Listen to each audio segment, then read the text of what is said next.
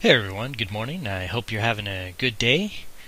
Uh, I'd like to take a look at doing a little series for the Sony Open Devices project. Um, I feel this would be helpful for those that are interested in working with the Sony Open Device or open source projects. And um, this is a phone that I have, and it's of great interest to myself. And um, I hope that it will be interesting to you guys as well. The instructions are pretty straightforward, um, but I have run into a few glitches here and there, so I'd like to walk through it with everybody, and that way, uh, if anybody else has questions on how to do this, they can do it for themselves as well. So, what am I talking about? The Sony Open Devices projects, uh, as it says here. For some of the Xperia devices, we provide Android open source project device configurations on GitHub. This means that the software will be open for you as a developer to use and contribute to. This is a way for us to support the open Android community and it is also a tool for us to facilitate and verify contributions to Android open source project. So, uh, you know, just a quick uh, web search for Sony Open Devices project will bring you right to this page. Uh, we're here on the uh, Get Started page, and it has lots of really great information in here um, that you can check out. Uh, how to unlock your bootloader, how to use uh, flashing tools, supported devices, and that might be handy to look at some supported devices briefly we see a list of the supported devices. I do apologize for a slight lag on the screen here using uh, VNC so we can actually uh, utilize one of my better servers for building so when we get to the build process it'll look a little smoother and it will actually uh, work a little better. But you can see the maintained devices and legacy devices. This is the code that they have uh, for various uh, devices in here. Um, and uh, you can see the uh, XA2 um, and then the XA2 Ultra, which is the phone that I have, uh, is in this list right here. Um, but if you're interested in some of the Xperia devices, you really should check that out. Uh, there's a lot of really good resources here for you to use for building custom ROMs. So then we go to our guides and we go to build instructions.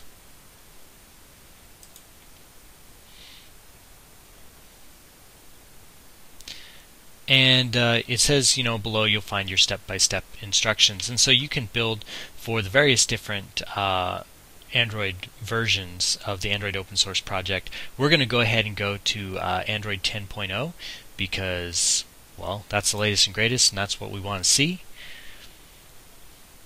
uh, just so you know, I have successfully built AOSP 10.0 for the Discovery, and I do have that available on XDA uh, for people to download and to use. And so this is really great though, so you can uh, check this out and see how the build process works. But uh, also, we know that the end result is going to be good, even though this is an experimental um, build environment right now because they haven't finalized working on the kernel. So one of the benefits of using the Sony Open Device project is the kernel. So the kernel for the Discovery is uh, version 4.4 but using the Sony Open Device project, uh, I've built Android 10 with kernel version 4.9 that's fully functional, and then I've built some uh, 4.14 versions that are not quite as functional but getting there. So it does allow you to use a newer kernel than the device originally came out with, which is really, really handy. So of course we're going to walk through this whole process as if we're starting from ground zero, even though I've already installed uh, OpenJDK and all of these build tools, but we're just going to walk through the process together course, you need your uh, terminal and you're going to need a lot of space. So uh, in this case, uh, if we look at disk free H and we'll grep uh, SD for the devices. Uh, in this case, I actually have a 16 terabyte RAID array that we're going to be building on. So that's pretty handy because lots of space available for what we need to do. Uh, you don't need that much space as we pointed out in the AOSP 10 building guides. Uh, 400 gigabytes is going to be plenty of space for you to download all the source code uh, and build for several devices. You could probably get away with about 250 gigabytes uh, if you're being a little judicious and careful about the use of your space. So, uh, that being said, the first set of commands is here to um, apt-get purge your OpenJDK, IcedTea, and IcedTea6, right? So you would just highlight all of that and you would paste it here into the window. And what this command does is it uninstalls any OpenJDK or IcedTea or IcedTea6 that you have installed. I actually do not want to do that because I already have Java installed, but I wanted to show you the command. It'll just go through and remove any of the uh, of those files that you have, those programs that you have installed. So it'll say a guide will appear on the screen, further instructions to uh, follow the instructions to remove Java. Once the Java is removed, it wants you to sudo apt-get update.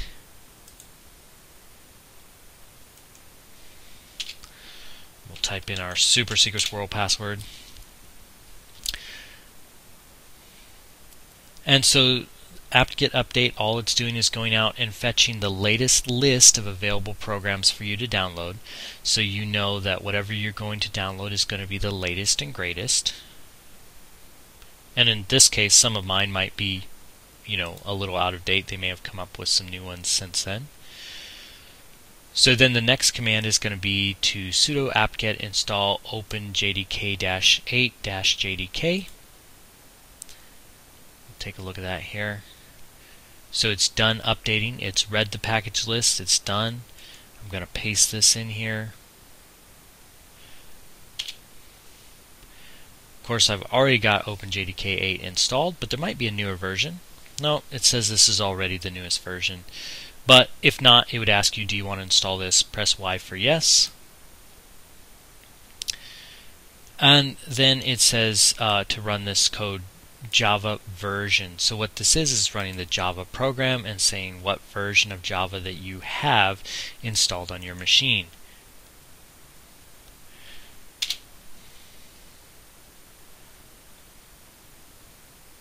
So in this case I have 1.8.0 underscore 222.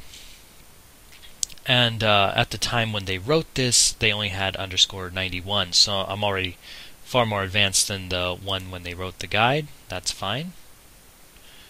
So we'll scroll down to the next step, right? I really like these little buttons. You can just click next. That's kind of cool. Alright, so install the necessary tools to make an Android build. So we highlight all of this just by triple clicking it. We go back to our terminal. We're going to middle click to paste that all in.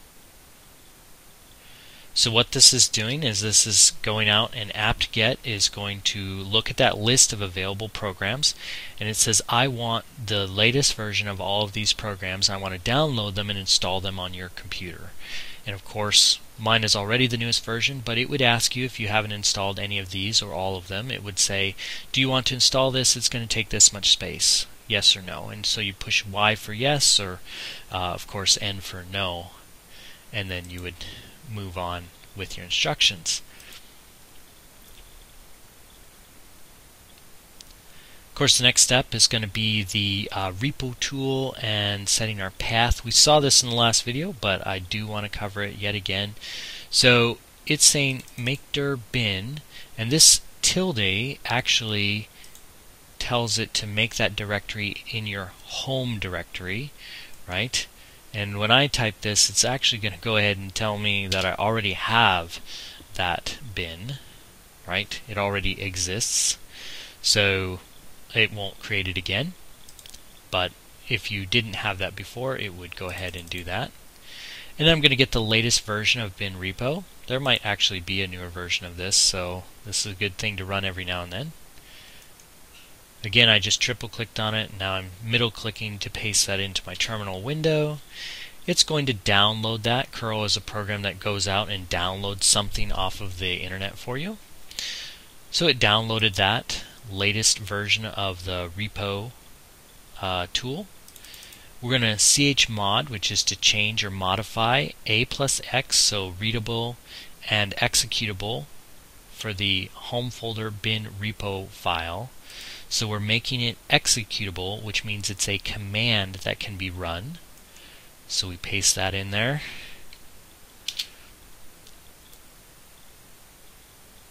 And now that is available for us to use. And then it tells us how we can add this to our path, right? Mine is already added to the path, but you can go through these few steps right here. Again, just double click on them, or excuse me, triple click, you'll put them into the terminal, and you can add it to your path. I've already added it to my path, so I don't want to re-add that path to my path, if that makes sense. Uh, like I said, very straight, very straightforward, very nice. So we need to initialize the AOSP tree, right? And so it's saying that we are supposed to build with a particular branch, Android 10.0.0 underscore revision 10. Now currently they're up to revision 14, but what this instruction is saying is that they have set up the kernels and all of their files and everything to work with revision 10 at the moment. So they recommend using that, and they do upgrade this from time to time. So uh, it doesn't mean you can't build with a newer revision. It's just that they recommended revision 10 at this point in time. So I'm going to follow the instructions here. We're going to make directory and it says to make it home Android, right? You can do that for yourself. I actually have a special drive, this RAID array with the 16 terabytes that I want to put it in. So I'm going to make directory Android and I'm going to call it SODP 10. I like to make it very specific because I have multiple things on my computer at one time. If you only have one thing, you may not need to be that specific. And then we're going to cd to change directory and go into that folder that we just made, uh, that Android SODP 10. And while we're here, if we type ls, it's to list all the contents of that folder, and there's nothing in there. Now, if you need some help with basic Linux commands, I do have some videos uh, specific to teaching you how to use Linux. It's called Linux 101. It's a playlist with uh, several videos that show how to use uh, listing files and copying and editing and that sort of thing. Please check that out if you need some help with basic Linux commands. I know Linux is not everybody's first uh, you know operating system that they've used. So if you're uh, not familiar with how to use it, please check out my videos. I think that will be helpful for you. So we're here in our Android folder, and we're going to repo init, and we're going to initialize this repository with all of the source code for Android's open source project from Google and uh, we're going to choose a specific branch. Now notice it says dash B and then it says branch, and we're going to use this branch right here. But for right now, I'll highlight this portion. Notice I'm not taking that branch part. Punch that in here, put a space, and I'm going to highlight this Android 10 part for which branch we're going to build and I middle click to put that in there and now I press enter.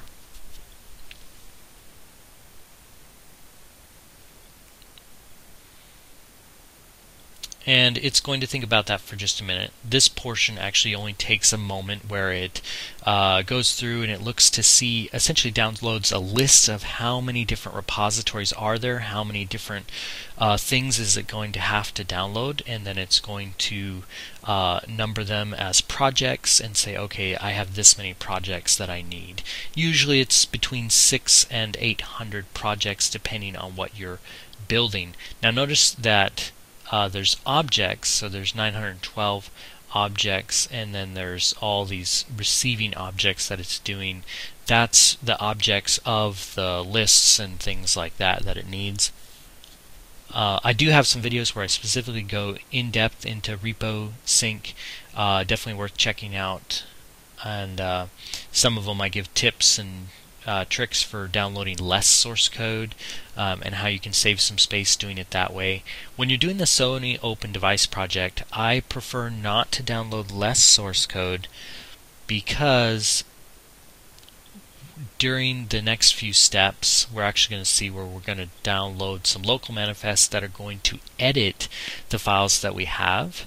And so it's good to have a good portion of the source code downloaded to do this part because it's going to be selecting some older material for a few things and editing some things and going to different revisions and uh, some things like that. So it's really handy if you already have all of that downloaded for the Sony Open Device project. Uh, I'm not saying you have to do it that way, I'm just saying that it works out really well for me. So while this downloads, we'll look at our next command here. The next command that we're going to do is going to be adding our local manifests. So we see it's going to have us change into this dot repo. So a dot folder folder with a dot at the front is a folder that's hidden. So right now if we look in our files, we see our Android 10 uh, SODP 10 and I have hidden files shown. So if I control H, normally we just see folder is empty, and control H again, we see the hidden files.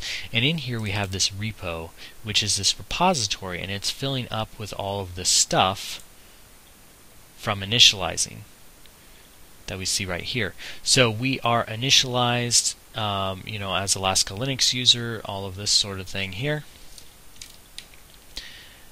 Uh, and then it gives us this command that we're going to change directory and get into that repo that we just made. So go into that repo folder. So now looking at the folders that we are, we're in this folder. We've gone change directory into this folder. We're here. And now that we're here, we're going to git clone and download this okay? And I'll show you that as we do it. So git clone it is going to go uh, get uh, and clone make a copy of this repository right here github.com Sony Xperia device local manifest. Okay good to know. And then it wants us to cd into that directory. So cd local manifest and we see if we look at our files that this local manifest is now new. We can click on it, we're now inside of it, and we see lots of good stuff. And notice that it says git checkout branch. Okay? So there's different versions and different branches of what you can use. Okay? If we take this right here, and we'll just copy that open up a new window here and we'll just paste and go to that.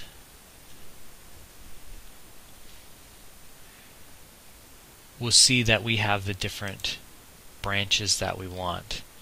So in our case, you probably want a branch that matches uh, whatever it is that you're working on. So in our case, we did a 10.0.0 underscore uh, revision 10 was what we had done before. And we see that that folder does in fact exist, so that's the branch that we're going to want. Which is why they specified which branch up here that you wanted to use for the source code from Google and for the source code from this local manifest. So we're going to get checkout branch in this particular branch. So git checkout, and then we paste in that particular branch. And it's going to make sure that that's the branch that's actually in use right now. So this may or may not make a lot of sense depending on how much you use Git uh, GitHub, GitLab. Um, I do have some videos on that. I do highly recommend you watch them if you don't understand what I just did. But essentially, I'm saying I want to use not the master branch that we're normally on, and not some other branch, but actually this branch. So if we click on this branch, we see it looks very much like the master branch right now. Okay, but watch if I choose a different branch. So right now we have this LAUM71R1XML, and if I choose some other branch, let's say Android 7, really old, right? So we see LAUM5.7. So it's not the same. So then whatever is in this particular folder will reflect whatever branch that I chose off of this list. Like I said, I do have lots of videos uh, specific to using GitHub, GitLab, and Git, as well as GitKraken. Uh, so please check those out if you have any questions about what we just did. So now it just wants us to change directory and go back to the main directory. So we're in our main directory, Android SODP underscore 10. Uh, we can see that here. This is where we are, is this Android SODP underscore 10, right? And if we look, the folder is empty, not showing the hidden files. And if we do an ls to list the files in here, we see there's nothing. If we ls-lah to see the hidden files, we'll see that repo folder, just like if we came up here and hit Control H and we see that repo folder. Alright, so now we're ready to repo sync. This is that command that takes forever to run, okay? And uh, so we repo sync. Now you can specify a number of threads. You can say I want one, two, four, four thousand, however many you can support with your uh, system. Uh, the more threads that you have, the more system utilities and resources are going to be used, and the more internet that is going to be utilized as well. So just something to keep in mind if you want to use the internet while you're waiting for this repo sync to finish. Uh, you know, you could give it a J and a smaller number like 2 or something like that. I think by default it does 4, but, uh, you know, don't quote me on that. So anyways, just running repo sync uh, should run at full speed, or you could choose a higher J number if you happen to be able to support that. So we'll give that a second to get going so we can watch it in action for a second. And this will actually bring us to our end of our video today because this is going to take many hours on my very slow internet to finish and so I won't be able to get back to this until uh, some other time. So uh, hopefully that was helpful for you getting set up to build the SODP.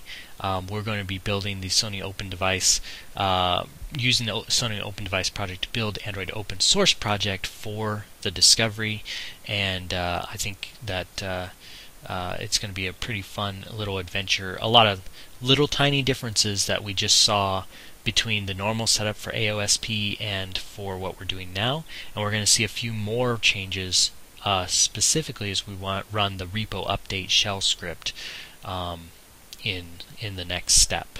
So hopefully that was helpful and interesting to you, and uh, I hope you also have a great day.